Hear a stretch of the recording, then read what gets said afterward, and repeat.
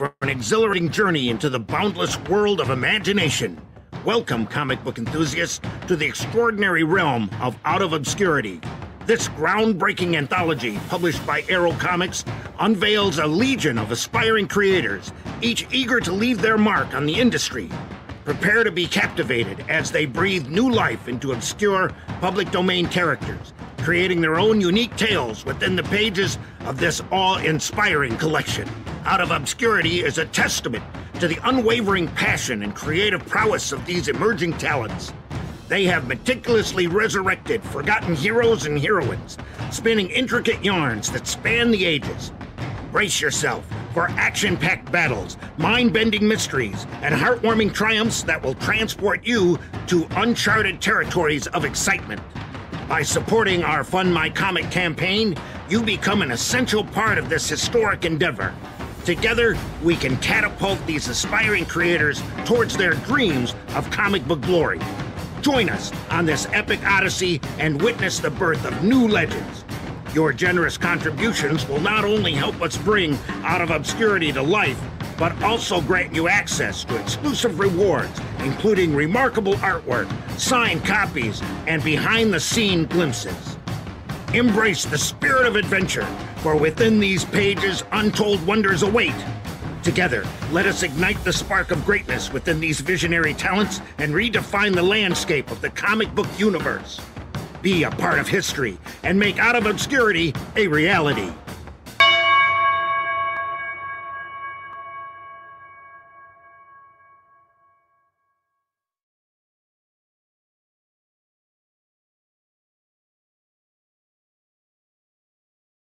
Хоча покажу, як кожен спортсмен піднімає логліфт. Покажи. Мож, можемо почати з, з Тірекса. Ну давай. Ложись в стену, давай.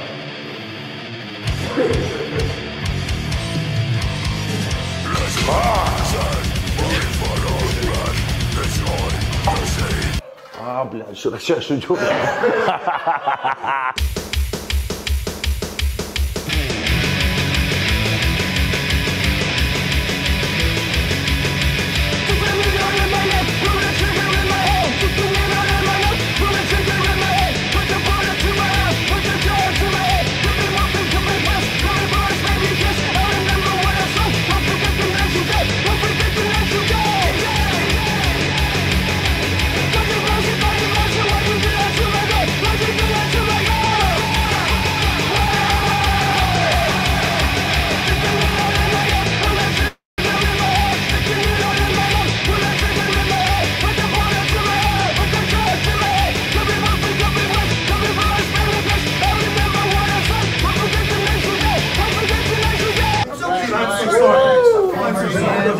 sorry. I'm so sorry. I'm my roommate. Okay. Hold!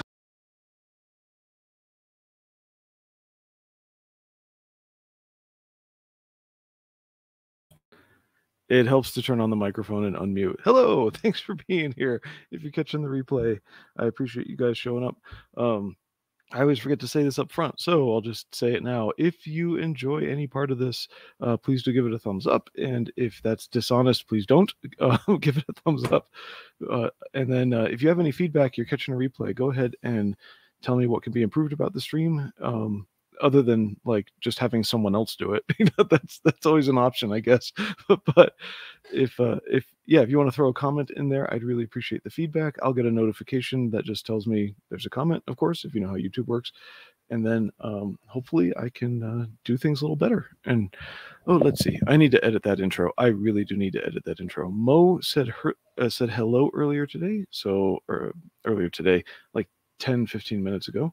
So there's mo and I know there's a couple other streams going for a while. 80s Made was uh, doing a movie. Let's see. Uh? All right. I don't know why Blue appreciates replay viewers more than his live viewers, but it's his prerogative. It's because I get eight times as many replays as I do live, and that's about it. So, um, if that, like, like really, if that. But Mo, I appreciate, I appreciate you, Mo, which is why we're not going to look at certain books today. So, um, yeah I'm, I'm just, there's a little book right over here. I'm just I'm just gonna hold it there temporarily. See the shadow on the edge of the screen. So it's waiting, and we're not gonna look at it. Anyway, uh, so oh, okay. So this is the part where everybody wastes time waiting for viewers to show up. So let's see who got the notification, who didn't. Um, I did not tweet this this stream out until like an hour ago. that's that's always useful because because uh, I have a job. I have things to do, and still looking for that second weekend job so I can keep on buying comic books. That'd be nice. and, then um, hopefully I, I got a lead on that, but maybe not. Uh, so what? usually the vamp is jujitsu and gym. So what's what's going on, guys? I am just exhausted. This has been such a heavy week. Uh, I had a server die somewhere hours away, and had to make multiple trips because of of you know getting equipment in the right places to to recover things and it it was a disaster. I mean it was really bad. Uh somehow a power outage with a surge didn't just make a mess of um of uh hard drives and whatnot because it's an older server it made a mess of a router in the network. like what the hell? so anyway, and I I can't get into more detail than that, but there um there's another entity that overlaps with where this was and they're aware of our IT and we're you know we're aware not really aware of theirs, but um, they do they do certain services in the same building and they're flipping out at you know like how could you have a server die and it's like uh because that happens when the power goes out, you know, and the batteries all die at the same time. so, and the, by the way, the batteries are their responsibility. Uh, and of course, the battery backups don't beep that their battery is dead until the power goes out, and then you have like 10 seconds of power in the battery. Like it was terrible. Um, but that doesn't explain why my router in their rack got wiped. And like it was a really bad week. So I've, I've been exhausted. Uh, let's see. Hold on. Okay, so that all finished out by like Wednesday last week, uh, but, but I'm still trying to, to catch up on a whole bunch of things, and so I'm here. This is my happy place. Well, actually, the the gym is my happy place, but I'm here, and this week in jujitsu is heavy roll week, and that means I fought for three minutes at a time with, um, there we go. Why why does StreamYard slow down as you know in in a minute for how fast it brings these things up. Big lag. Enough of your technological holocaust. Yeah, I destroy things. It's my job. Anyway, um, everything I learned in jujitsu last week, which was not much because of the classes I missed, we're supposed to be using it in heavy roll week. Heavy roll week is actually called positional sparring. And so you start in a specific position. One person has one goal, the other person has another goal and you're we're supposed to use relative to the the start position and the goals uh, things from the lessons of the, the last two weeks and i could not remember basic stuff to start certain moves so i'm starting with somebody else in a butterfly formation um, having a guard on me in other words they're the down person their feet are between my knees. That's and i'm up on my knees. Like that that's it. All right. Anyway and one of the the things you do as you start trying to get past the guard is stand up part way and like be leaning with your hands on their knees. I forgot to stand up. Like the entire class forgot to stand up i think the people i worked with at least. I didn't see anybody uh, you know there might have been people remembered just not on me. So oh man it's i i just felt so trashed at the end uh, anyway, uh, I can't single uh, wait. I can't single any uh, out any. Ugh, I can't single out any quotes from this. It all sounds gay. Oh, that remind that's the story I wanted to tell. Another boring story from jujitsu. I gotta find this. so let's see. Uh, you can you guys can find this online. I want to get the, the guys from jujitsu to chip in and maybe get our instructor a rash guard in December when we do rankings again. So we shall see. Let me see. Uh, Craig, C R A I G, Jones, rash guards. And we'll get him a nice one as like the second one underneath, you know, something like that. Craig Jones, rash guards, and one athlete. There it is. Uh, no, no, we're not doing that one. Um, that one's obscene. this guy makes stuff that mocks jujitsu like you wouldn't believe. So share, present, and we'll, we'll get to comics. Don't worry. I'm not I'm not going to linger too long. But anyway, um, video file, share screen, window. Uh, Oh, you don't double click, you hit share, and then you have to add to stream. Okay, so it all sounds gay. Yeah, so he Craig Jones makes rash guards that that or sells rash guards that make fun of jujitsu. Like he's got one here. View uh, Mexican ground karate is the the name on it because nobody remembers what jujitsu is called. So there's your Mexican ground karate. We should get all right. Sorry, last Thursday, one of my teammates got a question in early, and this this kind of bothered me, but um, he got a question in early, and I was really late because of work. So I show up, I showed up about ten minutes late, and and or no no it was ten minutes, and my um my teammate had asked a question about uh I don't even know what, but he's but the other two two of the, the three three people there. One does social media. She doesn't practice enough. So I like she's always sitting aside. I don't know why.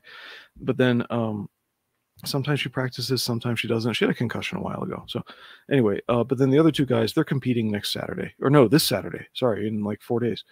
But they're competing and uh let's see. She uh so they were asking questions and so class never actually started because there were just three of them there.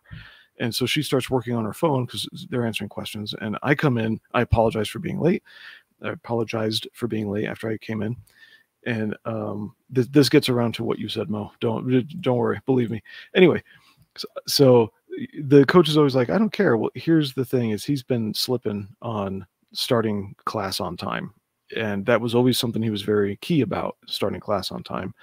And then I get there, and then more people show up after me, and I don't detail that much. But coach finally gives us something to do relative to the, the this week's or the last week's curriculum because it was last week, and uh, I turn to the near the guy nearest me who's competing, and now somebody else has filled in over there for the other guys. There's like six of us now, and and uh and like he's doing his yoga stretches like he's still warming up or something and nobody obeys the coach when it's time to go. And i'm finally just like dude shit or get off the pot. Let's go. Like what? Oh okay. And i'm the only one practicing so let- it was a wasted class. It was terrible.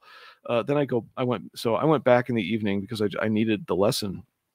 I started working with the dude uh, and there, again i walk in but i'm two minutes late because i had trouble booking my my class online and whatnot my phone outside and then uh I get in there, there. There are three people, but they've started on time. I'm only two minutes late. Awesome. And you know, that's the way I like it. Start on time. And if I'm late, I miss out my problem. So, so excuse me. I can hear my voice is already tired. I'm trying not to be nervous. So uh, I am so shocked. That I am so shocked to hear that a woman feels like a third wheel when you guys start going to town. I didn't say she felt like that. I am saying she might.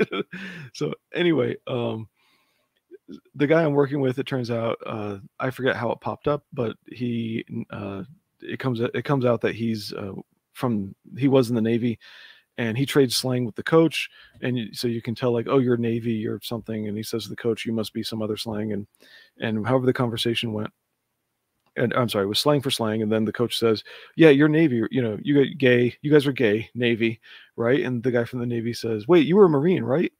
And coach says, yeah. And he says, oh, yeah, we weren't that gay. So it, it just went on from there. And from that moment on, I started pointing out every time the coach phrased anything where it was gay, like, you know, you got to lift the guy's leg and get in there deep or anything. I'm like, dude, coach, whoa, hang on. And yeah, it, it was bad. So with that in mind, as a token of our appreciation next December at the beginning, I really want to get him this rash guard for you, Mo. I'm doing it for you. uh, what do we get? He was in the Navy. This stuff writes itself. Oh, totally. Yeah. Anyway, I'd actually I'd prefer a rash guard that says "Make jujitsu straight again." Um, I can't believe. oh, I am. I, I've said your name before, and, and, and people and somebody looked at me like, uh-huh, uh, who's that? You know. So, all right. Boring stories aside, that tells me who's showing up tonight, which is Mo. Thank you, and I appreciate the live audience as well, even if you're silent. So, Uh, where am I? Stop sharing. Cool. All right. So just so there's clarity about what this show is, this is a manger. We will not be looking at this manger. We do independent comics, not manger. There you go. I don't want to arouse your anger. You're welcome, Mo. Anyway, thanks for being here. Uh, what do we got? What do we got? We got clumsiness. I do not know who the, uh, whom this is from because I did not recognize the name on the the, uh, the slip.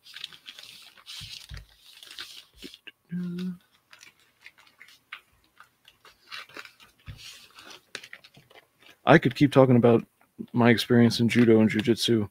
Um, I actually stood up for myself really well today. I mean, I could keep talking for days, but I won't. Uh, stood up for myself really well. There is a lady who is now a black belt in judo, and huge anecdote on the day we met. Not really impressed with her as a human. Uh, Pokemon was a was a contraction of Pocket Monsters. Manger is a con- contraction of Moe's anger. yep, there we go. Anyway, uh, what for whatever reasons, I do not work with her. That is in class. Like I'm, she's some kind of social worker. I don't mean I'm not employed with her. I mean, I don't let her. Uh, I don't let her touch me. She during my judo training, uh, she when she was still a brown belt, she tried to do a particular throw on me, which puts a lot of weight into your opponent's shoulder. So you're going to go to your opponent this way, and so like your uh, that'd be left shoulder goes to their left shoulder, etc. And instead of hitting me in the uh, top of the shoulder where it's still like part of your chest and where the the head of the humerus is, she um hey Felix, how you doing? She threw her body weight into sort of where your deltoid ends and overlaps with your bicep. And I felt my left humerus come out of my shoulder and elongate because she's holding my arm by the, the forearm or the sleeve. You're supposed to use the sleeve mostly in a gi and threw herself into there clumsily. Did not know what she was doing. And uh, I thought the story was going to go in a different direction. Oh, she she is nasty um, in terms of uh, she how do I say this? You're not five years old, but she'll talk to you like you are. And um yeah, I I could tell stories about how horrible she is. Anyway, so that was one, and then in the same day she was trying another th- uh, another throw where you get your opponent's weight on one foot, but then you throw them straight backwards. She put my weight on one foot, so now I'm flat-footed, and then twisted me to throw me over. In other words, that takes somebody's knee out. I ain't letting that that chick touch me. So today, I didn't let her touch me, and she was kind of shocked. So, oh, elixir. Okay, that looks like number two. So that's number one. Yeah. All right. I discovered this one after the campaign and decided to give it a chance. And the uh, the guy who sells this was kind enough to uh, find a way for me to buy it. Whoops. Oh, I don't need to remove that. So she's deliberately trying to hurt you. Uh, yeah, I think she's one of these ladies who thinks who believes she's going to appeal to guys by uh, showing how tough she is and um, domineering. That domineering will somehow make her appeal to, to men or something. I don't know. It's weird. I ain't gonna let that chick touch me. I ain't letting that chick touch me like a good rash guard slogan. Yeah. yeah, mwahaha, I can hurt a man. Would not would not surprise me. Okay. When we just these are these are anecdotes about just how bad she is. When when we first met, I was what what do I weigh now? Yeah, I was 18 pounds heavier, not entirely fat, but plenty of it. And let's see. She wants to hurt Blue so she can nurse him back to health. Oh God, some ladies are so freaking crazy. Here's the cover to Elixir, by the way. And uh, the warm up for judo at the time, because a lot of people do this wrestling, all sorts of classes. You warm up by running around the class. Then while you're running, you stop to do like walking lunges and you, you, you mar- what we used to call Mario jumps, which are high, you know, one one knee high like that forward. And Um, just, you just keep jogging around. So anyway, because I was fat, my uh, my pants wouldn't stay on the gi pants, and I, it was just hot as anything in that room. And so I finally asked the black belt, "Hey, you know, can is it cool?" And I had known the black belt before I joined the judo class through mutual friends at my work. And feminasty, yeah, oh yeah, yeah. Um, and I had asked him, you know, can I just put my gi on after the warm up because I'm wearing, you know, gym shorts and a gym shirt. And he says, yeah, you know, I don't care. He'd he'd rather we get and people would come late to join the warm or to avoid the warm up and then join the class. And he's like, no, I'd rather you do the warm up and everything's about safety than uh, this one. I don't know who's Arman. Armin, who's Armin? Anyway, uh, he'd rather everybody be safe and do the warm ups than be properly dressed at the beginning. He just says, make sure you, you get your gi on in time. You know, don't don't waste time afterwards. I'm like, well, yeah, of course. Here we go. And uh, I'll read these credits. And uh, so then she comes along, and oh boy, this class was in eight week segments, and every eight weeks was new were new students because it was out of necessity being run through the university instead of out on its own. Oh, he he wrote the. Oh yeah yeah yeah. Arm, Armin uh, Nassim. Right. I, re- I saw that on the, the return address a few minutes ago. Okay. Created by Armin Nassim and Pak Kwan. Uh, written in, le- he did the lettering too. Art by Pak Kwan. Colors by Rain. Uh.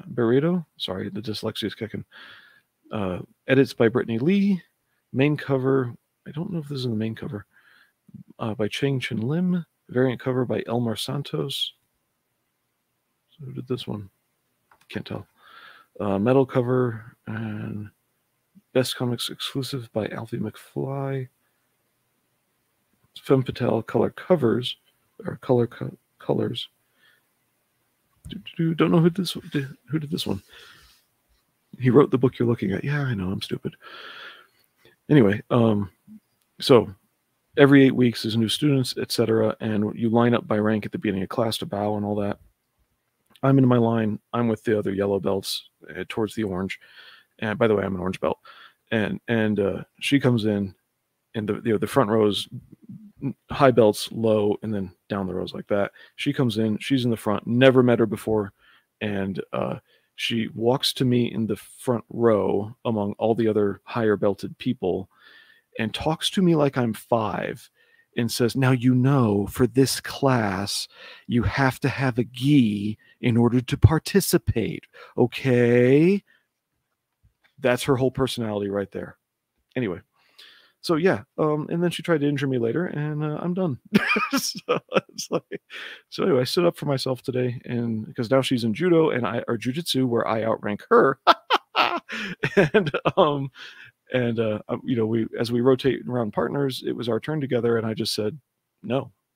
No i'm not doing it. I mean there's so many more anecdotes i'm not uh, this you know, i'm not going to tell but because probably most of you are asleep. Anyway do, do, do, lots of panels. I know we got a lot of panels. It doesn't look like it's real wordy so it looks like lots of panels isn't going to totally slow down the reading. But we're getting some movement up front Okay. Larger panels, somebody who knows anatomy, sure.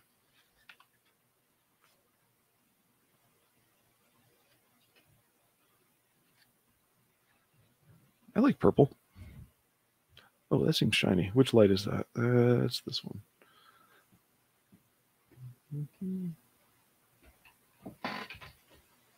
There we go. That's a little bit better.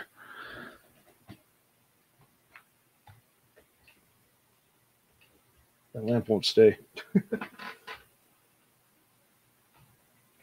All right. That might be better. I hope it is.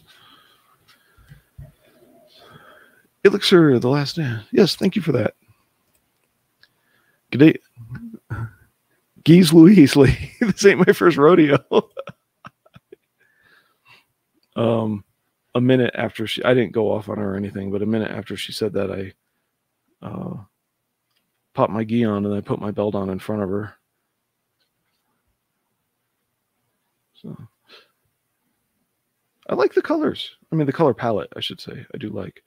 It's not all orange and cyan in one panel, like that whole manipulate emotions thing. So that's that's really cool. I hope I enjoy the book. Oh, That looks vicious. Is he like mutating or something? Cool.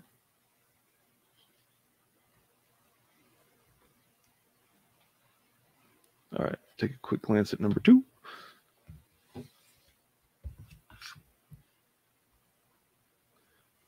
Also very shiny. This baby will be touched by, by death forevermore. I'll know what that means when I read the book. So good artist, Mr. Pak, or sorry, Pak Kwan.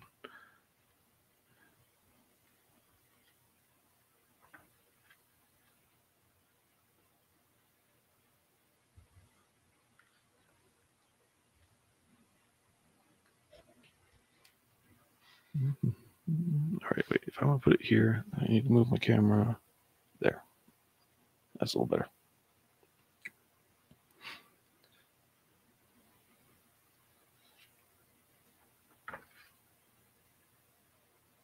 All right, so we got the give and take thing going with big splashy pages versus little panels.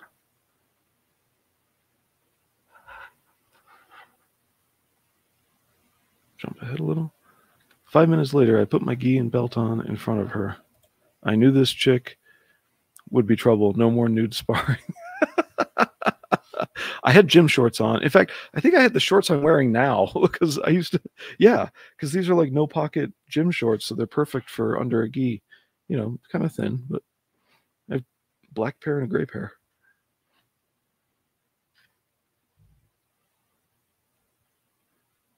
Wait a minute, is that an otter? That's utterly ridiculous.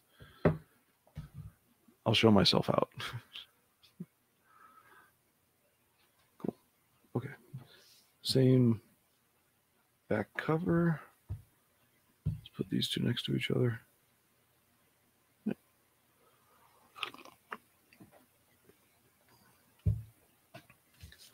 All right. And I know my my these aren't tales of woe. It's just crap happens, and some people just aren't good to be with. Um, actually, the thing I really noticed was another lady who I got along with pretty well shifted her personality whenever this pushy lady was around. That to me, that was a big red flag. Like, nope, just not gonna bother. And of course, I wouldn't date either of them because of religious differences, but so it goes. Anyway, that was Elixir. I I like the artwork upside down. I'll see if I like it even better right side up. So this is to me when I saw this on the campaign, it looked a little busy, but full size in person, no, it's it's pretty cool. It's just all one, two, three, four, five, six, seven, eight, yeah, and nine if you count the eye. All right. Next up, oh yeah, all right. This is the monthly, uh, the monthly order. I don't know what's in here, so this could be a dud in terms of indie comics, but there's probably a Batman in here.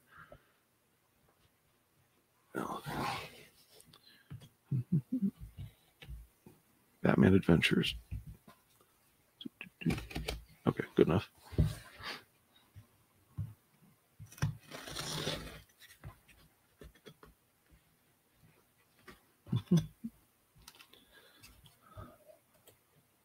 Stay away from those pushy ladies, Blue. Yeah.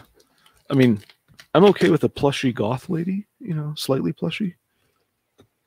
But actually, you know what? When I was 20 and 21, I dated a plushy goth lady.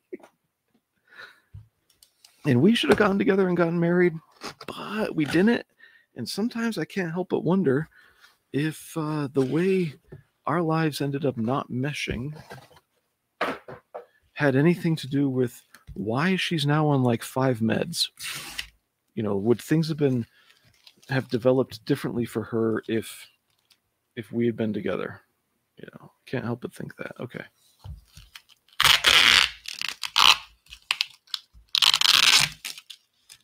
Pardon me a moment.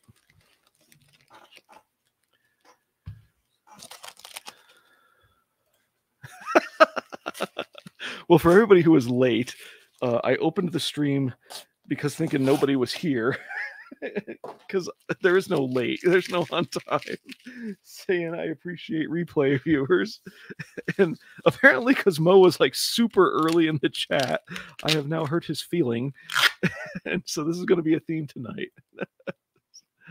so Armin Nassim's web store, cool.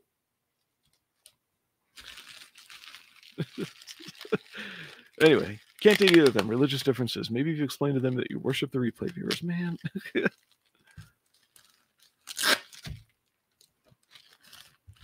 All right, so I got to get rid of that sheet of paper. Off to the paper shredder. So what is in here? Ah, here we go. Yes. Okay. Battle chasers showing up. Adventures continue. We don't care. I got here early and left. Oh, Felix, I'm sorry. I should sing one song to that chick. Do you really want to hurt me? You know, who is that? Boy George. So I don't understand American mythology. They have this one on campaign, but it was also in the shop catalog at the same time. I don't get it. So Battle Chasers. I don't remember this is black and white or color, so we'll take a look.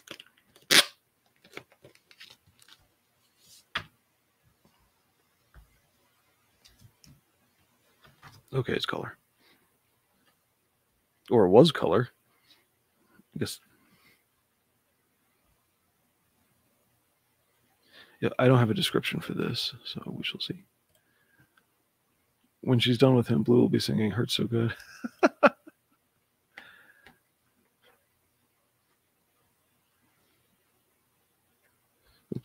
too many pages. I've never confronted her about some of the crap because she is one of those pushy types who um, constantly talks over and interrupts. It's just like, never mind, you know. So there we go. I like the style. I mean, it's kind of cartoony. Did this change styles? Are we in a backup story?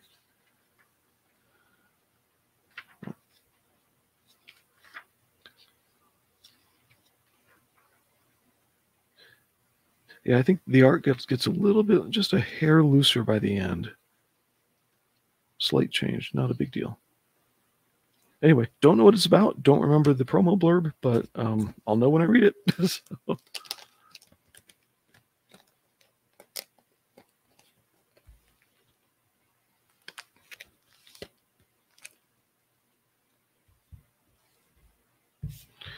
And this was a book that went through several campaigns. It was even promoted. I was in the gym and saw this book promoted on some news article uh, because they have TVs in the cardio room.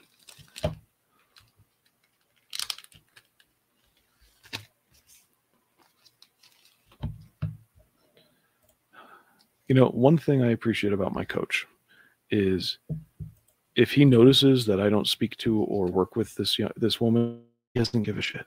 He does not care. He's like, "That's on you, whatever." All right, enough about that. Maybe I shouldn't have told the story because now we're kind of on it. So my fault. Let's see, we got cider, silk, silky pages, I guess, almost like they're from Australia. Tip that up a little. There we go. Very dark. Okay. Looks like a slightly less experienced artist, I think. Let's check the credits. Uh, written created by Michael Dulce. Artwork by Dan Leister, L E I S T E R. Or if that's in English, Leister. I think it's Leister. Okay. So you ever you ever see good, you know, pencil and ink work or good pencil work, and then you see the ink work and then you see the colors and it's it's like each layer removes a quality from the the pencil work i kind of wonder if that's what's happening but they're different teams for different sets of pages so, hmm. Jump to the middle yeah. i'm just jumping through it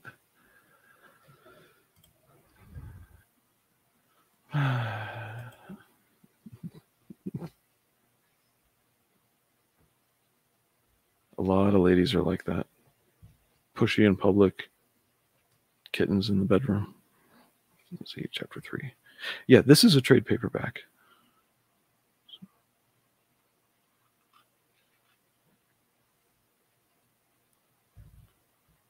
So not bad. A lot of dark coloring. More than just if everything happens at night. Like here, can't really.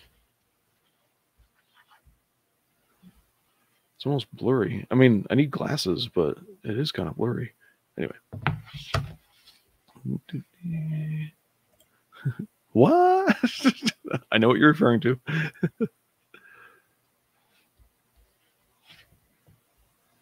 All right. So 18. That's not what I paid.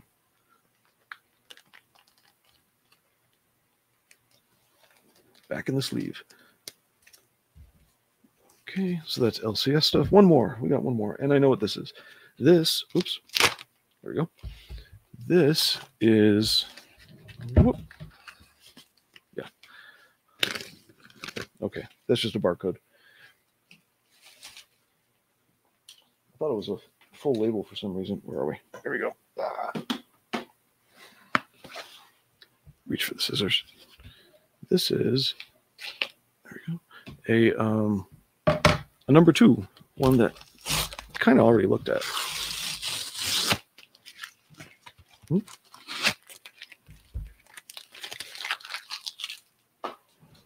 Oh, I missed some.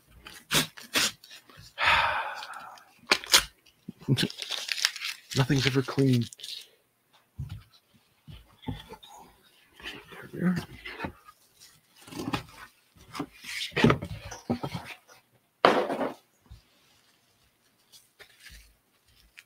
These are nice. These little bubble things.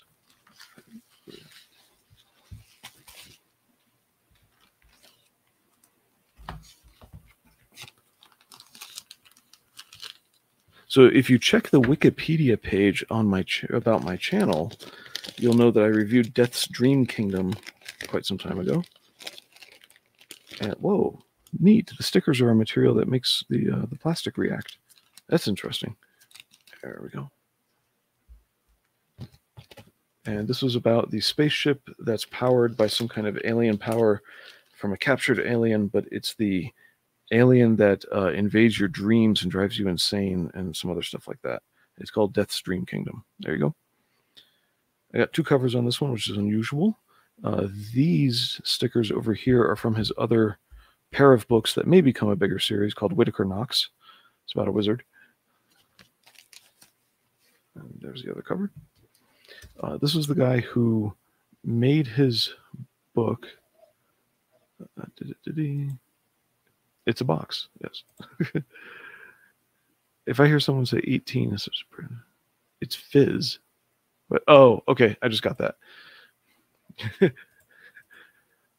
I'm I was surprised that that book was only $18 because usually three issue trades are a little bit more. Well, they seem like they're a little bit more in the indie sphere. And uh and I did not pay that much. So there we go. So this was the book that was all actually I wrote him when I found uh what do you call it typos in the preview pages. But this is the book where he he creates a bajillion uh, AI images and then modifies them. So he'll take pieces of AI images and Photoshop together bits like this with you know so this might be three or four different images blended together. Uh, but he's using a lot of ai to create raw materials for that he then assembles in photoshop to create the book. Yeah.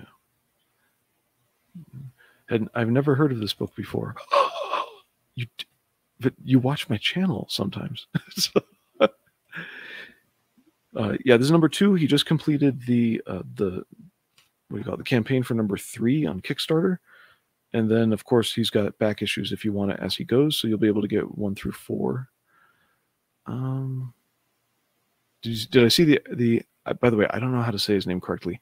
Aerith. Did I see the Aerith flash sale? All floppies five dollars each. No, I did not. Do you got a link? Do you have a link for that?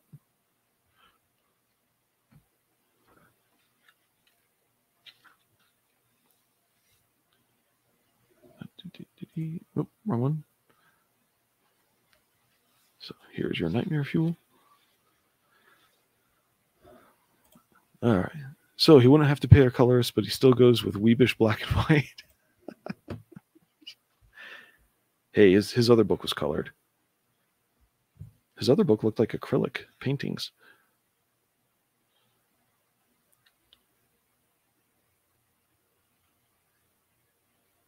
It, it was cheap. Well, ugh, that's gruesome. You know, on the camera, when I look up in my screen, this almost looks photographic, but it does not look photographic in the book. So, yeah. Wow. All right. So, right at the end of book one, somebody released the monster onto the ship as they're traveling through dimensions to find a new planet for their their home world, which is literally about to, to disintegrate because of the war with these aliens. And there's the alien right down there. There, there's his head. Um, his face is over here. That's a little washed out. see if I can move that lamp. Yeah, right there. He's facing this way. So this white is just background right there. His his body is the black over there with arms. If that makes you see it. Aerith Tape 1 floppy. Thanks for the link. Cool. The monster they unleash presents AI on a subconscious level. yes. All right. Put these back home.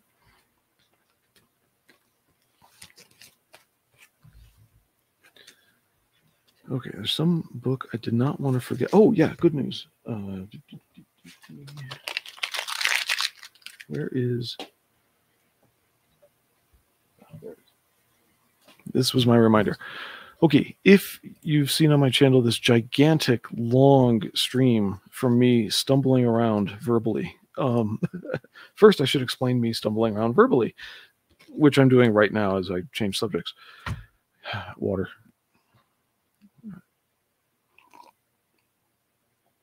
Okay.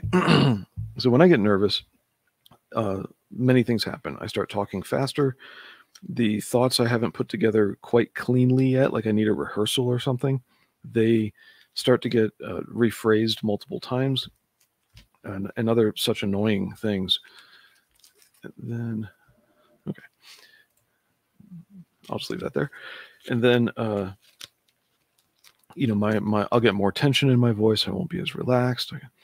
Let me think for a minute. Okay, relax. Cool. So that happened a lot. And when you guys hit things in the chat, I tend to read them right up front, even interrupting myself. Bad habit. So uh, I was on another stream where I was allowed to talk about uh, what do you, uh, Attack on Titan, and I wasn't really concerned with putting my thoughts together first because usually when I'm streaming there, I get interrupted a ton. It's two ADHD guys together. but but the other guy, Liam, turned his attention elsewhere and I never got interrupted. So it was a disaster because I hadn't put my thoughts together first, you know? Uh, let's see. Reading my comments immediately is actually a good habit. That's when they're most relevant. Yeah, well, actually, yes. Uh, and um, because this is not how you envisioned Adam and Eve. Yes, I did read it. so anyway, that was an absolute mess and disaster. So I got to be careful of that. And uh, yeah, that that was terrible. So let's see. I already said that I will repeat things. I already uh, mentioned being nervous. Oh, losing track of of what I'm saying is not good. And then I can hear my mistakes, and then I'll I will not have the filter capable because ADHD is a is a uh, deficit and filtration, like you know. Anyway, uh, like little kids are, but uh, delay. It's a delayed development thing. Anyway, the uh, the filter won't catch that I don't have to say out loud. Oh, that came out wrong, or oh, that I just said that twice, or something like that. And so that means now there's even more verbiage coming out for people to to listen to, and it's really hard to listen to. They had a promo. Okay, they had a QR code on the promo stream, but it didn't work. Oh, for dwarves versus floppies? Huh. That's messed up. Okay. Hopefully you can find the right link. I mean, you know, you know your your your hobby. So when uh so anyway, and then I was tired because I just worked 14 hours and because of that server crash. I was really tired. So you add all those things together, it was a disaster. Why that's relevant now is related to First Man here. Uh, a while ago, I did did a stream about books being late, and just in case people didn't see it, but that they want the the why would you bother getting into that late books controversy is actually I was trying to turn the temperature down on the late books controversy. I'm in Dwarfs versus Lion Blue. Oh, okay. I don't have the book. I didn't. Um, I don't know what time period that Aerith's books came out, but something about them just didn't appeal to me, and I, I haven't backed any of them. But now that you say five dollar floppies, I might take a look. So thanks for the links. Anyway, um, yeah, being exhausted doesn't help, and uh, with all, with everything I've already described, and I did that stream where I what I tried to do was take examples of what are real honest to god expectations like forget indiegogo's deal on your your product is due i think i don't know 30 or 90 days after your campaign closes or something like that. I don't know. And it's it's not a little cameo so you're a lion not a dwarf? Is that it? So uh, those links are right. Good good cool. Boxes are 15 nice. All right. Anyway that huge stream could have been shorter if I had rehearsed what I wanted to say first. and, and, the whole idea was if certain things are reasonable, what is within reason? And I gave all these caveats and stuff. And I gave, made an example of Andy Smith saying that he could be on time with his book given you know a starting point i picked in time and how how many pages per week does he have done giving given an announcement that he made and whatnot well good news andy just announced that uh, he's done with the pencils and inks. And I think it's a few pages to color or something like that. And then it's going to lettering and prepress. So Andy is pulling it off. He's he's getting his book out on time, not late. Expected shipment is is uh, November. He might even be early for all we know. So here we go. Uh, wait, I'm king of the dwarves, says Mo. No, Mo is king of the dwarves. Okay. Oh, the dwarfs. Okay. Not dwarves. Sure. Grammar will come up later on the stream. So good for Andy Smith. Good job, man. And if you guys want to torture yourselves, you can go back and watch that stream. I think it's the one called Plet, which is the uh, shirt I'm wearing now, and uh, it's it says like late lattes or something. Anyway. I spelled it the correct way instead of the trademarkable way because I knew Blue would feel compelled to correct me. In sixth grade, I had a D&D choose your own adventure book something about dwarves, and that became a question. Or was it sixth grade or like fifth? Who cares? And that became a question about spelling. and, and so I was already told some words because of popular error or double origins will have multiple spellings and it's okay. Moving on, let's get to a book. What's that? Clean the clean the palette.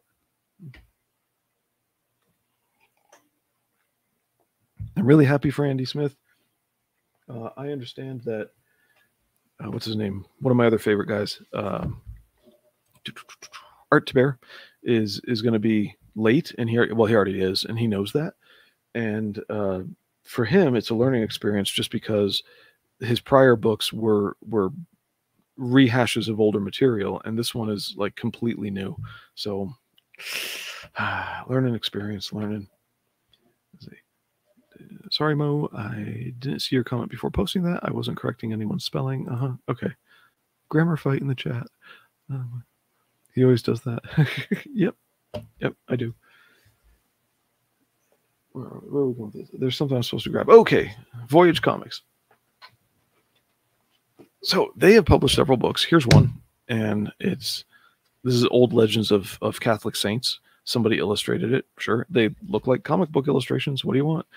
And uh, I got this, but it's really not my thing because I'm not Catholic. so look, a bookmark. They got swag. Uh, not being Catholic though, I wondered about getting this for my mom. They have another book like this of essays on Tolkien, if you're interested in that, but it's written by one of their in-house guys. So I don't know about the uh, the Tolkien quality. If you're Catholic or Christian, uh, you know what might or might not appeal. I'm not sure and uh, yeah, even though my mom's in her 80s, I I buy her the iconic uh, books. What are they? Soul Finder. I get her Soul Finder.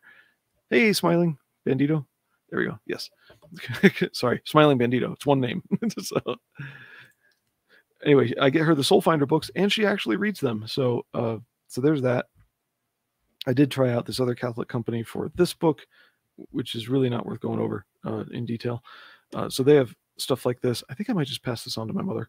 It, it's really funny how some lady in her 80s who is into a lot of um,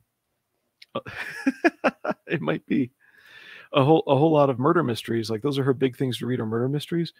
Uh, that she would, you know, she likes the mysterious aspect, and I'm like, huh, wonder if she'll like Soul Finder. And she's like, comics aren't my thing. And then she read it, and she's like, oh, okay, she got into it, so that's cool for her. And then um, when I saw her recently, I dropped off the third, third and fourth Soul Finder books, and she's like, and she's like, oh, hey, cool, I've got your other ones. I'm like, they're not mine. I gave them to you. She's like, right, I know, they're mine. And so, all right, all the important people here. Catholic is Christian. Fine. If you're not Catholic but you're Protestant, there you go. And I'm a Protestant Protestant. like, like there's so much BS out there right now. Anyway, so Voyage is the name of the company. They put out these books. I did finally get around to reading a little bit of this one, but this one, Phantom Phoenix, was the first one I saw. I don't know why, it just was. And then I picked up this one, and now they've got more books and whatnot. And some are, are of interest, some are not. This one, the Finian book, this is a trade paperback of I think one through four. Please sign up for Black as Hell mailing list re- receive a 16 page book add on free with your backing. Cool. Coming soon. Um, this one, it's not quite a story I think anybody here would find interesting. It's more of a biography type. The artwork, it's it's uh, serviceable. You know, it's not like it's erroneous, but it's also not really what I think people are interested in or excited by.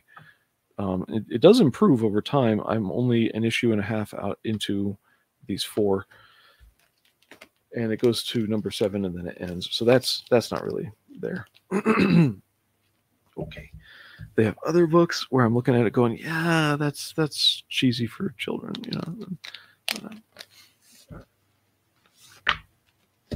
So today's opening band book, opening band, whatever, is Phoenix, the Phantom Phoenix.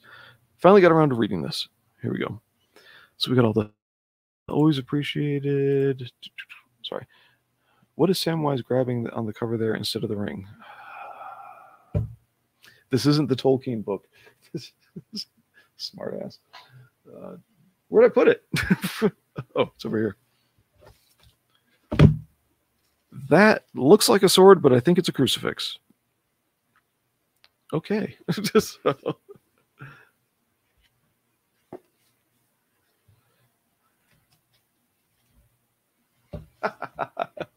oh, we're already here. More money, more problems. Not with GoFundMo. Back today with confidence. Looks like they edited out Phoenix, Phoenix's iconic nipples. I don't understand why he has the belt on the outside of his trench coat, but I guess it keeps the trench coat from flying around you know, flap flapping around in, entirely. He is a mix of Batman and a little bit of Spider-Man with what his cane does. This is part of his cane. Yeah, we have a uh, hero with a disability. Issue one was a little bit short. They're going for a lot of classic stuff here. Uh, the language does fall back at a certain point where I think in the second book, our lady character, take a look here she says she she has a linguistic anachronism because this is supposed to be like 1920s or no um between world war one and two. So yeah 1920s uh, before the depression type er, er, uh, thing in chicago. And what does the lady say? I mean we'll get to this point later. Something strange happened. Oh i can't find it Mm-hmm. Yeah, can't find it. All right, no big deal. So his name now escapes me. I the, option was there to either tie the belt around the coat or you know button it. yeah, I'm always happy to promote. That's that's nice of you. Oh, you mean promote? Okay. Linguistic anachronisms are not 23 skidoo in my book. Fix this now. Uh, I've been watching GoFundMe. It's actually putting up some good numbers. Good to see. Cool. Is is GoFundMo a real thing? oh, here's one I missed. Uh, having Black as Hell on his desk is highly anticipated. You're not anybody to, in indie comics till you hit Blue's desk. Thank you. You're, you're bordering on sycophancy here. It's okay. I'm not that important. Anyway, um, standard notice everybody's got these little masks on.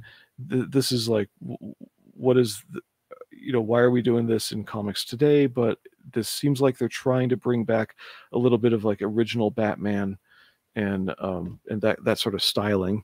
Don't know why.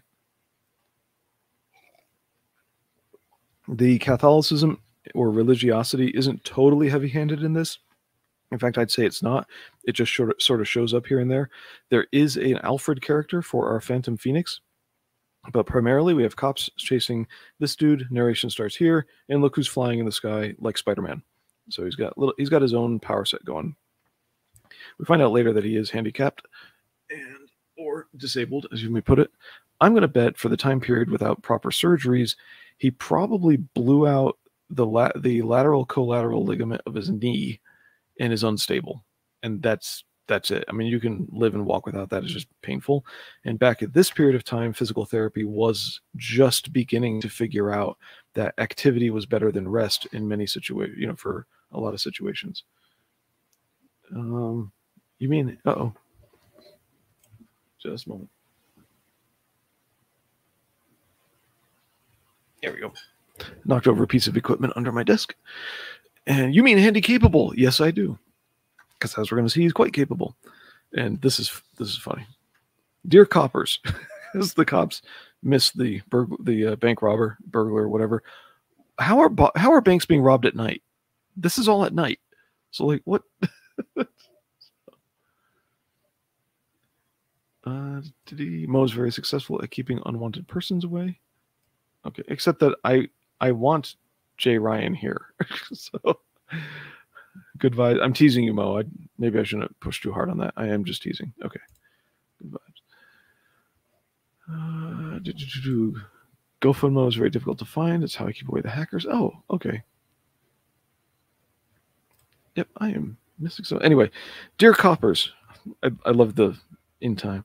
Next time, lay off the spuds, and the criminals will, won't be so hard to catch. And it's a little Phantom Phoenix logo there. so, so that's cool. Our heavier cop here, I forget his name. I'm trying to remember names. I just remembered the Phantom Phoenix. His name's Martin. Uh, making us look ridic- ridiculous. What the heck is his name? Anyway, so he goes home. He lives in a church. In fact, we find out later he lives in the basement of a church. We don't know why, but his little Alfred is the pastor of, or you know, the local father, or sorry, local priest, father name I forget, at that church, and he knows what he's doing, which is kind of weird to me. But if you've ever asked a priest or, or Jewish person questions and all they do is ask you questions back that miss the point of what you're asking, that's what this guy is in this issue.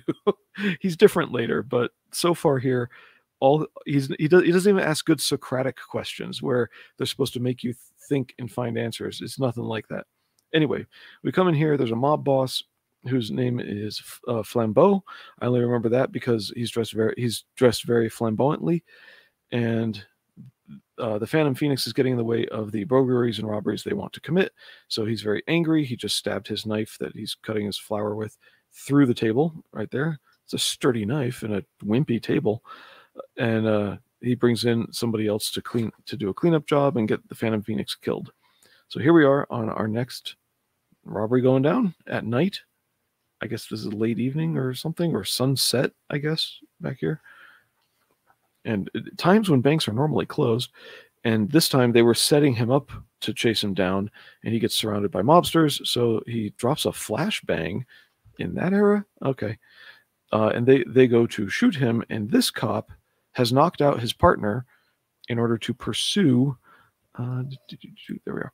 In order to pursue uh, whatever. Oh yeah, it's right over here. Knocks out his partner, having shot at the Phantom Phoenix, and this equipment on his leg is because he's actually handy capable.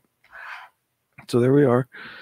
Uh, he drops a smoke grenade to get away from it, and he now knows this guy's a dirty cop.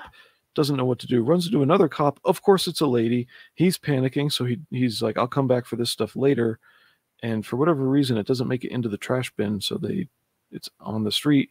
And of course, the mobsters find it. This is the intro- introduction of the love interest. So I'll get that out of the way. I just realized I was thinking fund my comic, not GoFundMe. I- I'm I'm a chat rusty. yeah. Blue, understandably, assume we were talking about Gun- GoFundMe. Yeah, well, there are things I know that just vanish as soon as I start streaming. So I'd say my apologies, but you already know. Anyway, um, so here's our interest, and she takes him to his home because he doesn't want to go to the hospital for whatever. He just needs to fix his equipment. And she does finally ask, like, why are you wearing the funny uniform? And yes, he was an aviator before.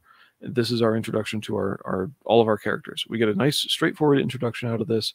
It's not problematic uh, in in I think anyway. It is a little bit weird, which reminds me of just how and this the fact that he lives in a basement like doesn't phase her, and it's it's kind of funny. Like, uh, oh, hey Poland. it's kind of funny to me how how women there's such a variety of women, but there there are two. I've been around such picky women for so long that my impression is I, I forget just how accepting a lot of women are. Like they don't care if a single dude lives in a very cheap utilitarian way because to any one particular woman that could mean oh he's being frugal he's being careful it's all these positive things and then um it is a reunion show. Glad to see he's out of the gulag. So so anyway uh and and so uh un- unlike my sisters who were really harsh um at least some of them not all of them but you know they would look at this you live in a basement thing? really negatively. And no no a lot of women are very wonderful. So that's always cool uh, the cop we we get the confirmation by the end of the book. Yes this cop is dirty. He's working for flambeau for flambeau. Uh, he flambeau is going to have him killed but he says wait a minute i have this. This could be of use etc then we move on real quick real quick to book two. Uh, indeed poland escaped the white house dungeons.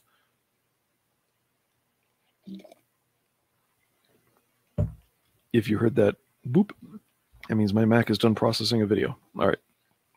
Anyway book two we're still going with these these masks. And this isn't really a setup but he's waiting for them disrupts their burglary. It's not a robbery. Well, i guess one error in this book i'd have to double check. I think he keeps saying robbery when he means burglary. Robbery is confronting a person with a threat in order to take something from them like a mugging and and then so if you're robbing a bank it means you threaten the people in the bank. A burglary is just you went in and picked things up and walked out with them. So it could be breaking and entering and burglary. So that kind of thing. Anyway uh, my dad was key on words. Art. The art in here is more than serviceable. I think it fits the superhero style pretty well. Good anatomy in in all kinds of ways including the clothing.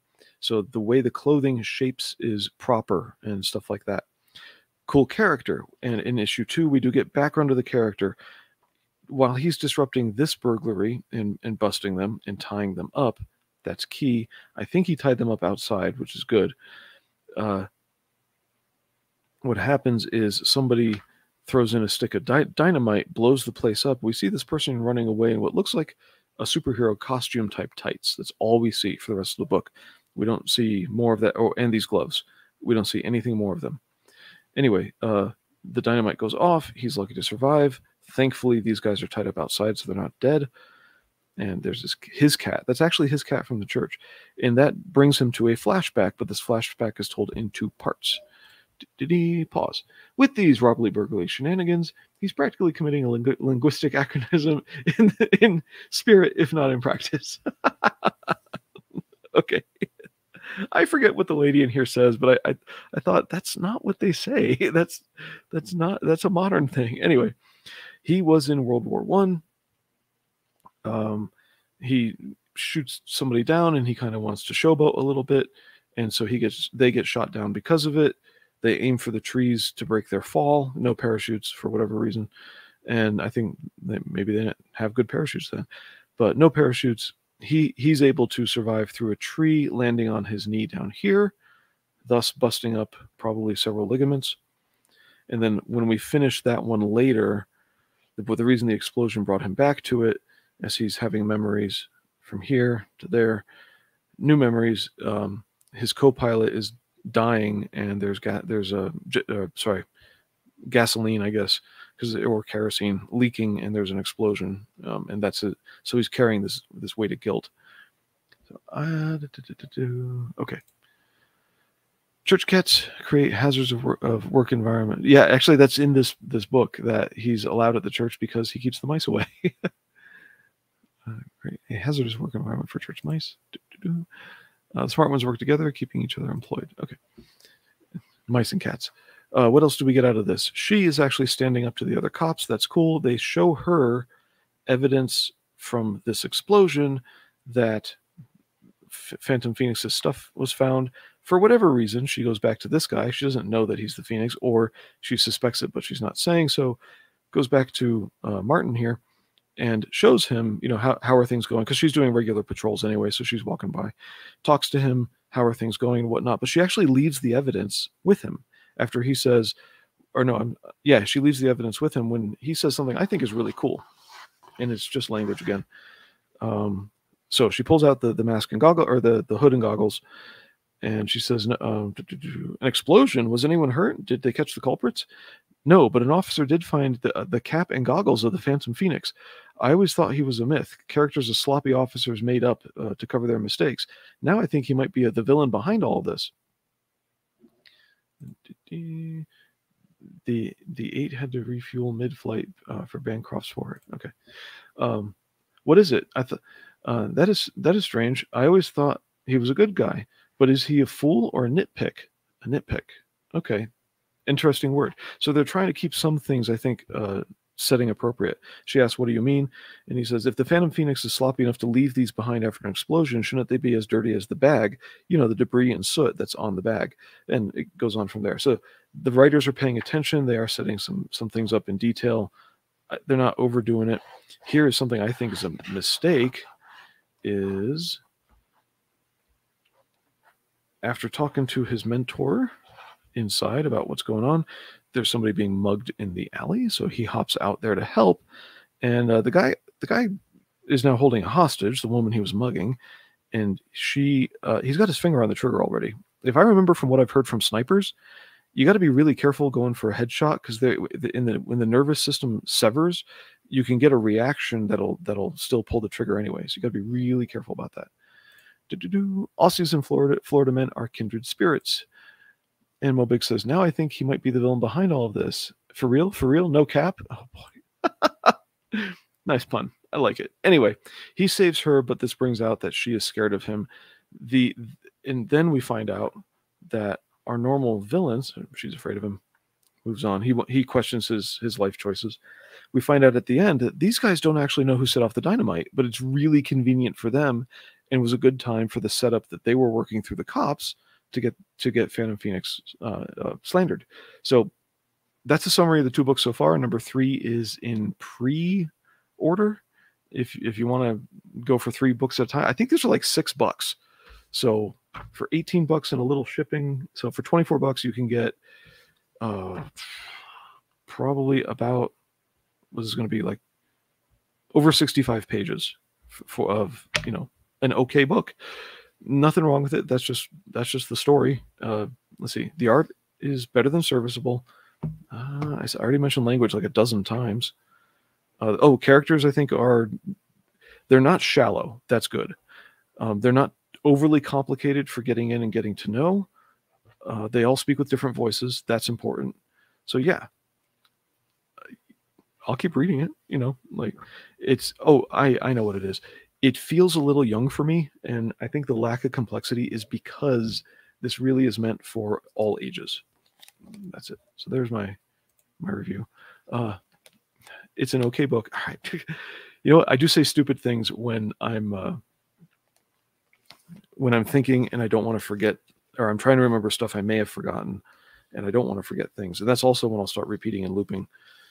So it's more than an okay book. It's actually quaint and enjoyable. So if you want something plain, simple, quick read, there it is. And it's not expensive either. So, that's for them. Oh yeah, and the Catholicism is and it isn't overbearing. At one point, um, when he's questioning what he's done before he goes out for the the mugging I just showed with the lady in the alley, he uh how he says he gets reminded by the priest that he's not God, basically. And like that's about as religious as it gets so far. You know, and I I think it's good for people to see that kind of thing. You know, even if you're not religious, just to have that influence in your life. So all right, we'll take a quick break. Do, do, do. Yes, Poland, aren't you happy that I'm supporting uh, Catholic comic books, even though I'm not Catholic? So, I, I'm the mortal enemy of Catholics. and for anyone who doesn't know church history, I'm a Lutheran. so, no, no, not those Lutherans, the other ones. We're the ones who don't or, ordain uh, lesbians. Yeah, and you know, anti-religious people are probably the most legalistic. Uh, they just make their own religion, and it's usually very legalistic.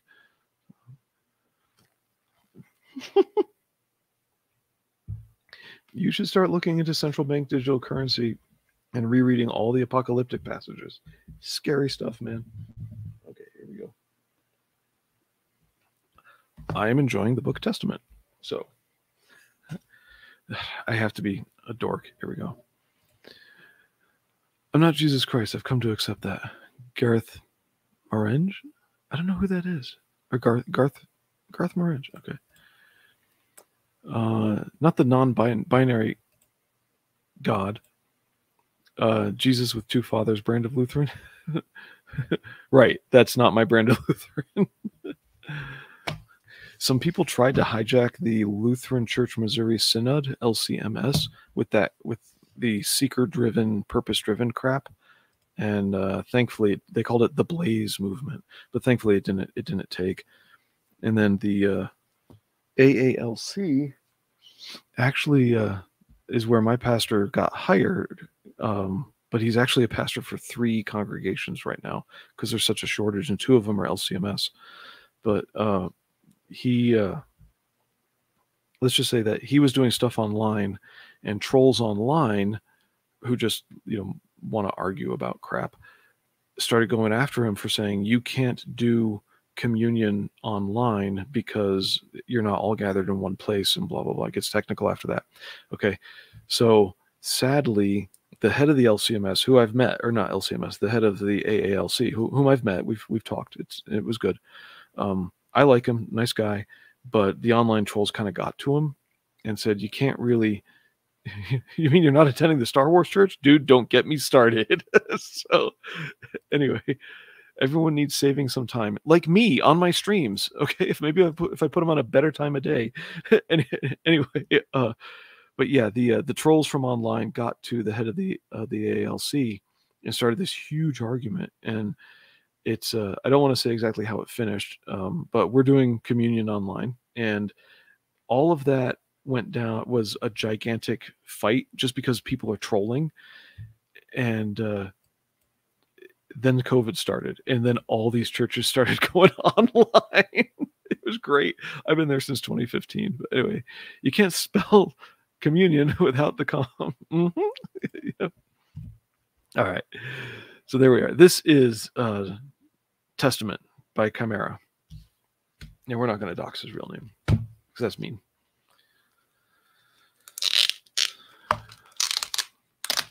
Ah, don't you love that sound? I enjoyed this book. Uh, this this is a book. It surprised me in how quick it was, and it's simpler than I was expecting. So number one, with my fantasy, because this is mostly a fantasy world. They do have some armor and plasma blasters, but otherwise it's mostly sword fantasy. Uh, you know, sword magic. It's just a different kind of magic. Whereas Queen would say it's a kind of magic. Got to come with a map. Always come with a map. So these books are great, or the maps are great. I mean, uh, book two did not have a map, but the supplemental had a map in it, and we'll take a look at all those. Uh, do, do, waiting for that to pop up. Thanks for the explanation. Trolls just want your time. Uh, today was Ignatius don't, Street is okay. They have a street named after him. That's nice. That's really cool. Anyway, the Ignatius of Loyola Street Day, uh, uh, feast day, Luther's favorite. Cool. By the way, it's Saint. I'm teasing. Um, my idea of saints is different from Catholics. So, and okay, finally came up. Garth Marenghi's Dark Place. We're doing all we can, but I'm not Jesus Christ. I've come to accept that now. Okay. You know what? I'm going to take not to hijack my own stream because you know what else would I do? I'm actually gonna. Oh, it's a movie, or uh, sorry, it's a novel. Okay, it's a horror parody.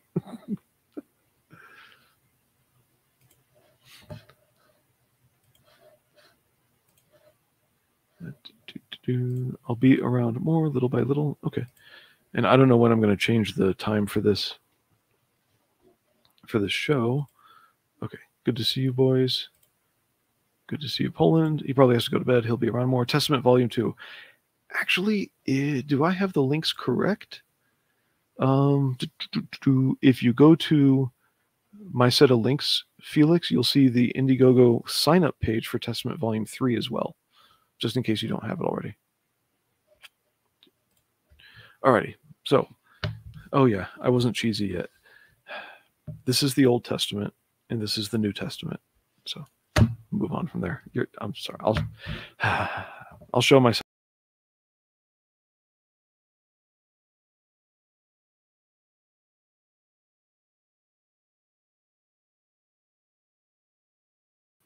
Oh wait, there's no there, there's no show. All right. Anyway, getting into the book. I think I almost have to do this one upside right.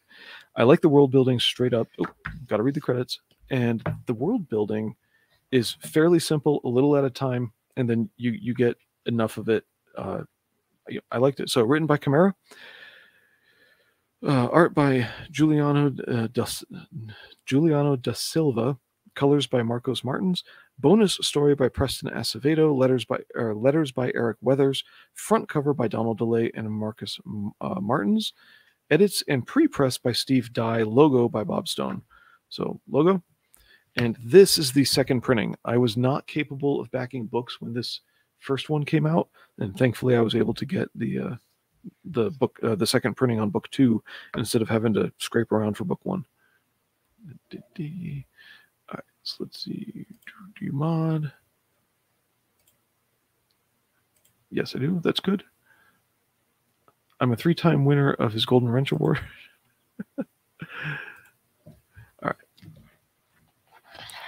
So our main character is here, and he is 18 years old. Um, the the age isn't exactly clear up front.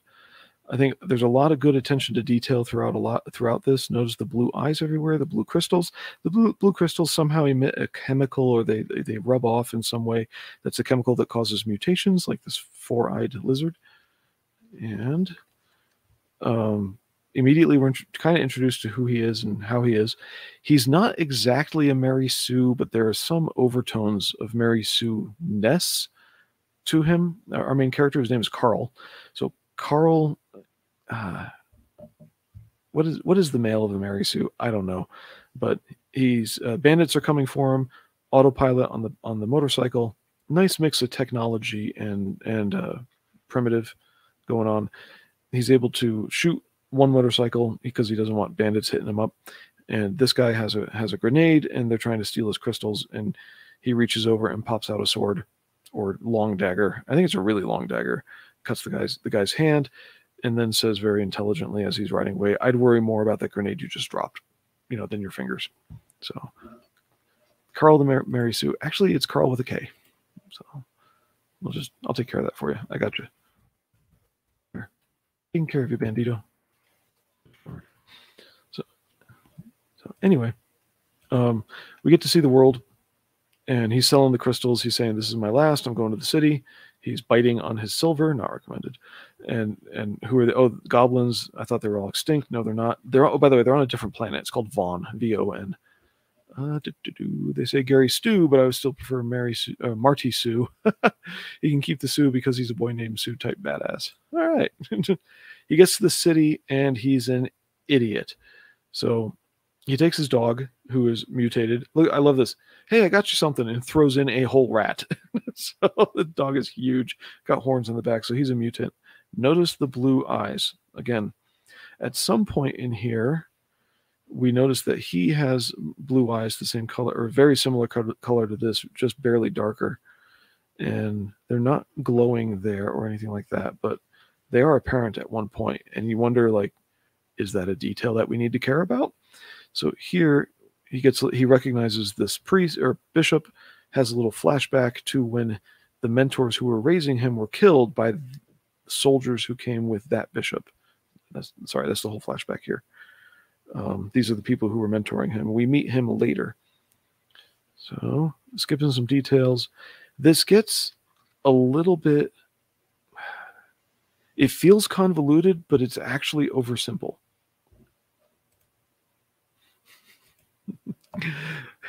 anyway, uh, and so it's the the book proceeds in a little bit of an oversimplistic way. So I was, they do one thing at a time. Say, oh, we're going to go to this city and kick some guy's ass. Okay, and then they walk in and then they kick the guy's ass, and there isn't a lot of of a lot of depth in how they they team up with locals and and whatnot through the two volumes. So it it is just a very clean, quick adventure that also makes it um, back to work. Okay, have a good time smiling, Bandito. Sorry. Uh, it is a, a quick, clean, smooth adventure in that sense, but it makes things seem a little too easy, especially as Carl starts to discover he has powers. And let's see. So they're they're going after the. I think in this realm it's a king. Oh, I'm sorry. The planet Von is segregated into five regions, and each region is ruled by a, a warlord. In this in this area, they call him a king. Um, now I do like how we are given a little bit of depth into what's really going on behind the world by the by the end of volume two and it's not a retcon it's depth so that's cool uh, like how the bloodlines for the king work it's not as complicated in something like forgive me for mentioning it as attack on titan but it's which which i really like but anyway it's it's simpler than that. It's not wrong. It's it's just uh, i got lost a little bit in trying to keep straight who was whose uncle in in which way.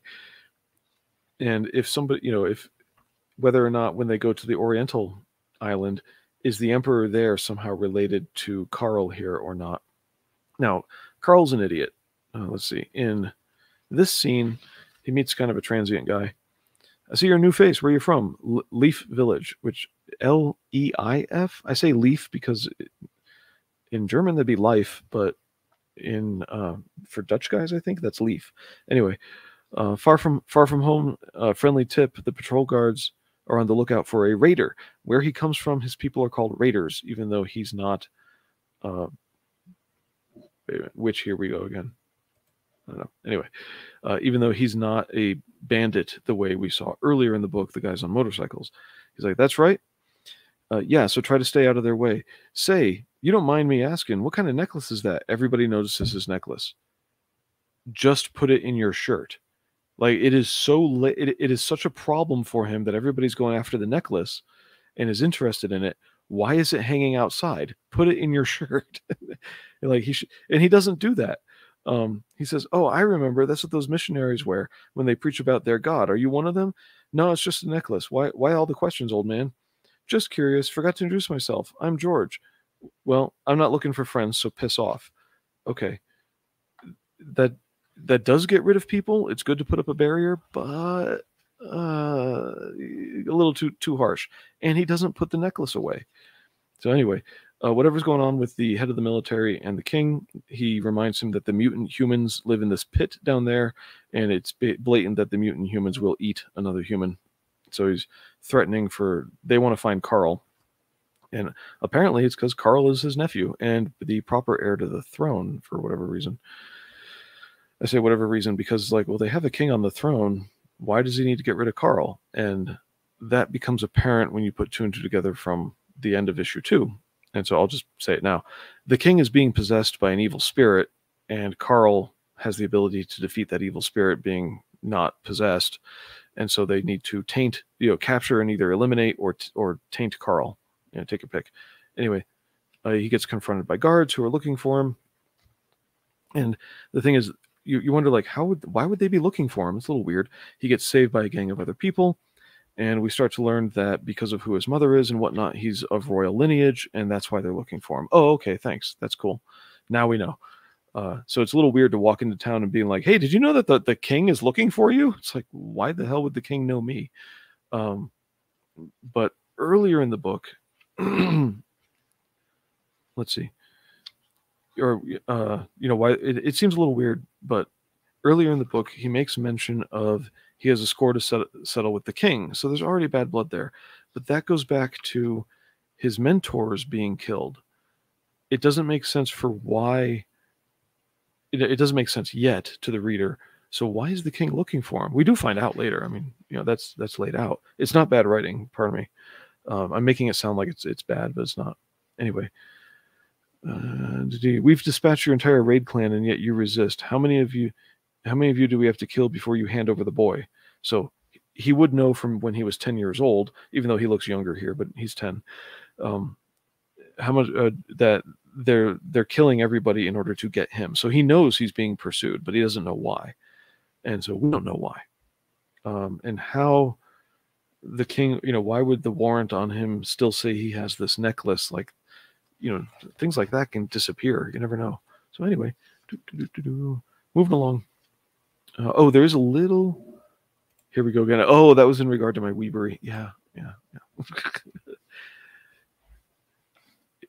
uh, where were we?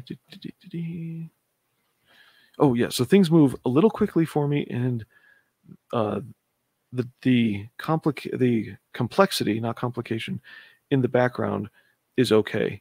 The uh, simplicity in the foreground feels a little weird to me because I'm I'm used to I'm I'm really well.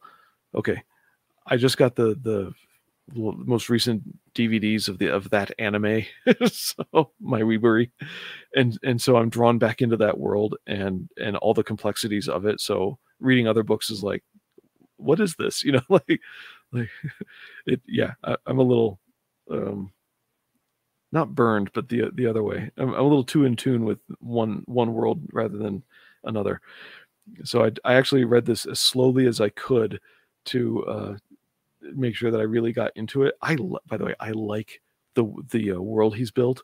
This is just a really cool world. We'll get to the maps later. So he meets he meets this guy because of the gang that saved him. Uh, so here's this dude, and he's a dick for no reason. Like it's just he's just unwise. You know, he's very standoffish, very hormonal for an 18 year old. You know, or being an 18 year old uh, he he wants to be his own man, that kind of thing. But he's mentioning that he's trying to find his his mom. Uh, let's see what we got. And the original reason they team up is because this is a group of re- uh, rebels going up against the king. That's it. And so he knows that. So somehow they know they're all going to be on the same side for whatever reason. They figure if the guards are hassling you, you're probably good for us. So they work together, and he hot-headedly sees the bishop who was there when his mentors were killed and with his helmet off goes and follows the two guards who have the bishop. The, the dude's an idiot right? And wants to go kill the bishop so that's how he gets captured. Uh, right there. Why? Why are you doing this? So so now to say he's an idiot is not a criticism of chimera's writing it's actually good writing. He has a solid character who is consistent and who grows over time. That's cool. We'll get rid of the the the Marty Sue stuff in a minute. Anyway, so he wakes up and he hears them talking and they're explaining to him that he should have some kind of power because he's in the lineage of the king and what that means. So we start to get this here. Um, oh yeah, yeah. I'm waiting for that one. a hormonal 18 year old would be beating the bishop. yes. it's called self defense. Anyway, um, by the way, I went to a Catholic high school, and one of the non clergy teachers there was apparently, he's also one of the soccer coaches. Apparently, a bunch of students would go to his apartment because they could drink. Yeah, wonder what was going on. Anyway, um, let's see. Uh, so he's busting. So he eventually busts out of oh, he's taking an electric shock as a form of torture from this guy, which knocks him out, and he has a flashback memory to the bearded guy we saw killed earlier. And he's thinking about it and realizes, I have a power. Now, the only thing I don't like about how this was presented, so yes, we're getting some negatives here, is it would have been good if this were presented as, uh, you know, maybe put this on the next page and show us a little more flashback to him remembering feeling something, uh, you know, f- feeling something or other related to this power, you know, like when he was 13 or 14, uh, living on the run on his own or something like that, uh, or being trained by his mentor, which we'll see later in a different flashback, then somehow the, this royal power that he has, it's just a little too easy that he says, Oh, I have a power and I already know how to just click it on like no training. That's where I say, okay, this is a little Mary Sueish. It's like that. And then we'll get rid of it in, in I think the beginning of book two. So he's able to super, you know, he, he goes superhero, bust through stuff. And like most anime characters, overdoes it and tires himself out on his first exploit. But it, it is how they finally defeat the king. Notice the eyes are orange on this being. And that's not that's not the king but the king comes in very frustrated that you know everybody fails him all the time so he has to go do it himself. That this is them beating up on the giant on the giant robot. Um, yeah here's the angry king. And look he's super powered as well wouldn't you know? But his eyes are orange not blue. And that that becomes a detail for later and then they they get away and they're on their way to the asian kingdom on a train even though the Asian kingdom is across the sea. Anyway, got some books, some background stuff. And here we get a flashback to when this kid, now these guys are raiders, so they are attacking people on, on, uh, or attacking other people on motorcycles. And uh, here's our blonde dude with the beard. Uh, and this is how they go to an orphanage and they find this kid, which is Carl, and then they start training him. And uh, let's see. So how much did you say? Three silver, three silver reichs, or reichs. I don't know. He's a bit scrawny. How long has he been here? I've been taking care of this boy since his mother, or since he was four. His mother just left him here one day, taking care of him, huh? And he's all red and, and black eyed and whatnot, whatnot. Yeah, it's not my fault. I manage the orphanage myself, and this one talks back all the time. He steals food from other children and constantly gets into fights. All right. So they're starting to train him to fight, and he's not doing well. He's not putting anything into it, and so they encourage him. Like, imagine the thing you're swinging the sword at is the uh, the woman from the orphanage, and so, bingo, it works. And then you know he said, "Okay, now you'll fight somebody for real," and just knocks him down and says, "We're over for the day." And then they start telling legends, but they they call this a bonus story. It really is part of reading the book. It's not like it's optional and you'll read it later if you get these books, read the bonus stories. They're cool. So here's a flashback to him training. It would be interesting to see something where he starts to uh, have power, but he doesn't understand it. You know, that would be cool. Book two. And yeah, I'm going to try and rush through book two. So I really enjoyed the book in the end, despite the, the slight Mary Sueish, and despite the slight, um, oh yeah, uh, despite the slight quickness of everything, like we're gonna go attack the king, and then they go attack the king. You know, it, it it's like I'm waiting for an, another shoe to drop to make the story a little bit more complex. Oh, we got extras here. There you go. There's that. Trading card. Magnuson. Uh, Leonard von Magnuson, six foot eight, 250 pounds. Eye color blue, of course. Hair black, capital city. So. And of course, some 6 a.m. stickers. Al- Always. All right. So they're vital to the experience. These sounds more like bonus holes than bonus stories. it took me a second to get that. yes, they're vital to the experience. Don't skip them. This for the volume one was a standard. Uh, in the second printing was a standard shiny cover, and so you could see where it gets rub marks on it because of that. This is a more matte cover. It's not the super soft touch. It's more like a plain matte. If it's the soft touch, actually, it might be. It's just not the the hyper soft touch where you feels like you're you're grabbing a piece of of uh, latex or something. It's a lot nicer. It might just be regular matte, you know. Um, so does not need any kind of uh, what do you call it spot gloss or anything. It's fine how it is. Obviously, I've got the Clayton Barton cover. Really like it. I like the texture of the pages, and this one's longer. So they make it to the Asian kingdom, which is actually on a different piece of land. So they had to cross water at some point. He's still mouthy and punky and whatnot. And the people who meet them, and or this is while they're still traveling, the people, and we find out about the Asian kingdom. Uh, we see this ball here. That's important later. He arrives. The person that he arrives with says, "Okay, you know, attack me with a sword and use your power." Now he exhausted himself the first time he used his power, so he's saying, "Oh wait, you know, I have limits." So he learns. That's cool, and basically just dodges him. It's a basic judo thing of you have momentum and I'll just step out of the way, you know, whatever.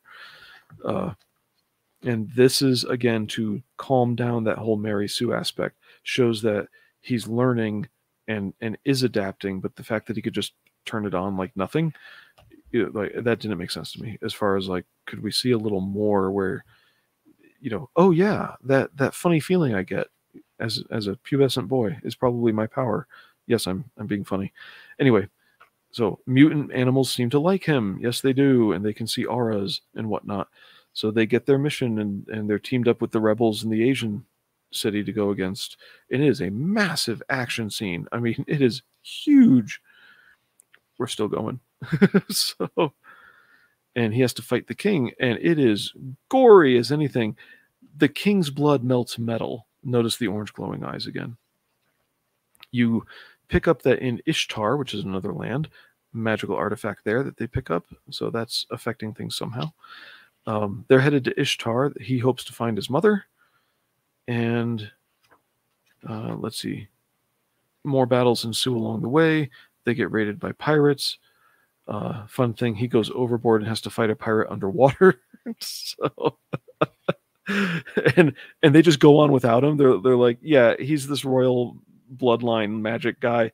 He'll he'll be fine. And yeah, when they make it to dock, there he is climbing up the beach with the head of his of his uh, opponent. so so anyway, they get to where they're going in Ishtar, and we get a little bit more of the world. We finally see our villains teaming up.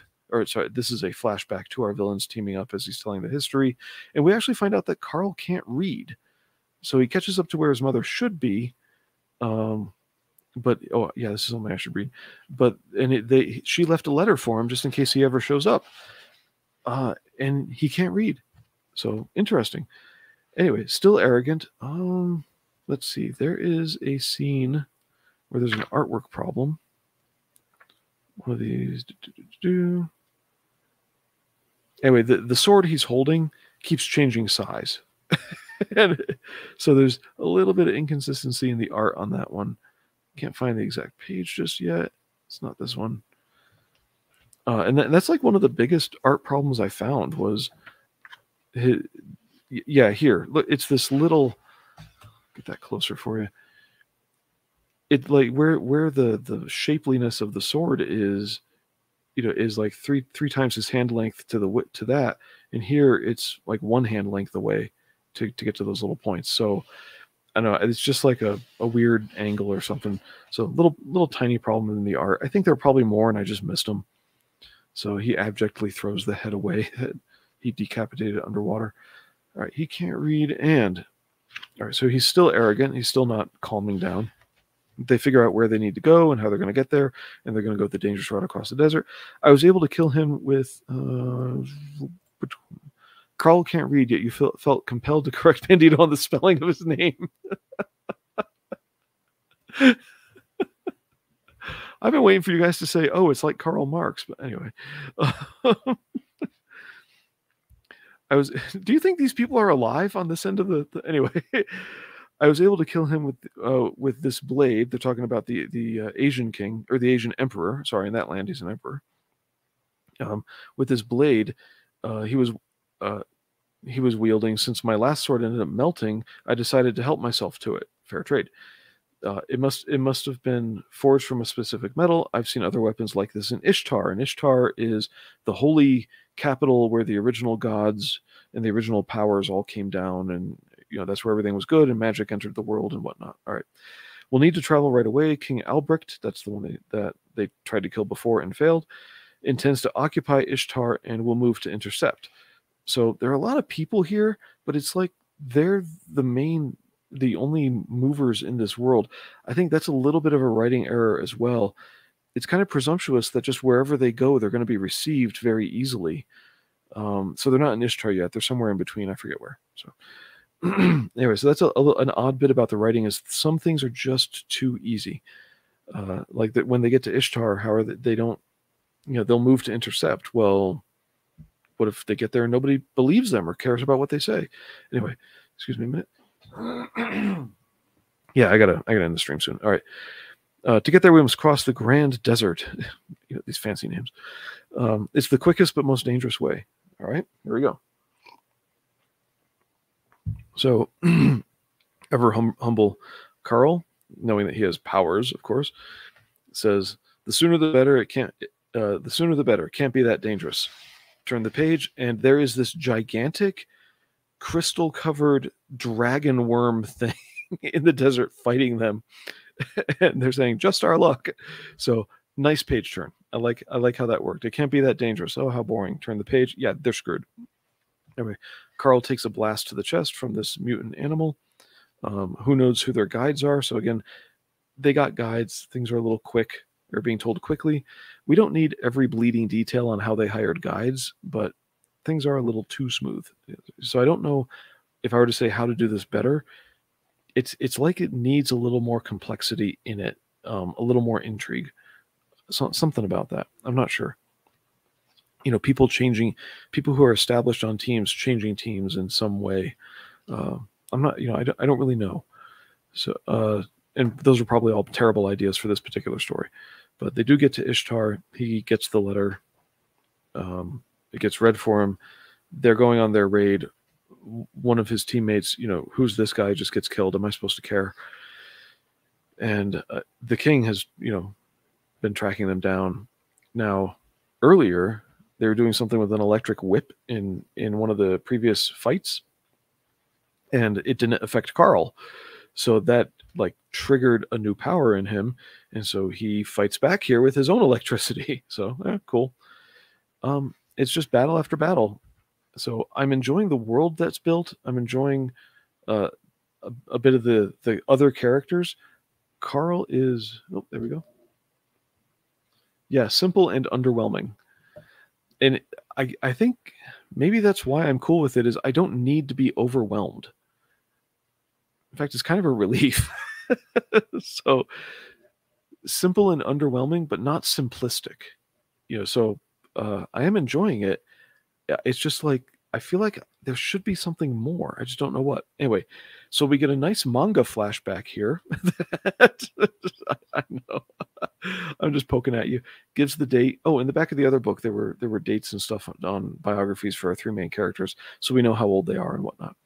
But it gives the date and it shows us uh, when the man in the hat, who we've seen through this book, hired this other guy or was hired by this other guy for reasons that are explained elsewhere in the book. And this is the mission where the other guy dies. Well, this other guy hiring the man in the hat also married the uh, his daughter, and that's Carl's mother. So this royalty married his daughter, which is Carl's, and they gave birth to Carl, and then this guy died. So they figure that out because Carl's looking for his mom, and something else comes up, and he says that necklace belonged to my daughter. So yeah. Anyway, so when there are things being referred to, we later do get to see them in these little flashback things, which I think is is nice. You know, it's cool that we don't have to hold in our head all the the background information. We actually get shown the background information, so it sticks better. It's pretty cool. And then this is a preview for number three. Beautiful artwork, nice piece here. And that's it. So simple and underwhelming. Simple, yeah. Underwhelming, yeah, but I like it. Um, so what do I think? It it's like I was expecting something um, something more, and I just have to tell my expectations to shut up because what is here I do like. So what more? I don't know. I can't define it. Uh, there we go. And then uh, he married his daughter. I understand royalty king, but it's uh, yeah. Okay, too many pronouns. the royal guy who gets killed that I was just pointing at marries the hat guy's daughter, and they are Carl's parents. so Carl, Carl's a prince, and uh, the the royal guy I was pointing out who gets killed, he gets killed by his brother, the king. So let's see. Um, oh yeah, I was gonna show off. Just a quick flip through this. This will be a nice book to read later. So this is essentially an appendix book, and I like this because it gives me a chance to go back and sort of live in that world uh, without absorbing more story. It's an appendix. Credits, I won't read them. So there we are. De- you know, it's definitely a recommend. So pick it up, catch up if you can. And I'm starting to think that quicker reads and certain amounts of simplicity are actually something I should uh, I should appreciate more, you know.